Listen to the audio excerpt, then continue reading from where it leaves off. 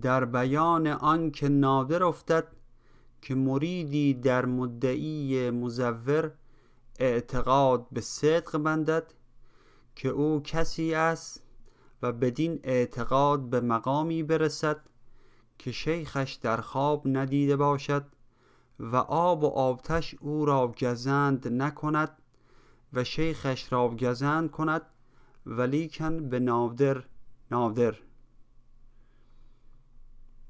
لیک نادر تابله باید کز فروغ. در حق او نافع آید آن دروغ. او به قصد نیک خود جایی رسد گرچه جان پنداشت و آن آمد جسد. چون تحری در دل شب قبله را قبله نی و آن نماز او را روا.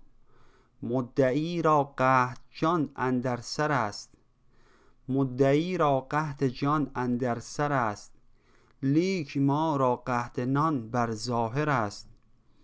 ما چرا چون مدعی پنهان کنیم؟ بهر ناموس مزور جان کنیم.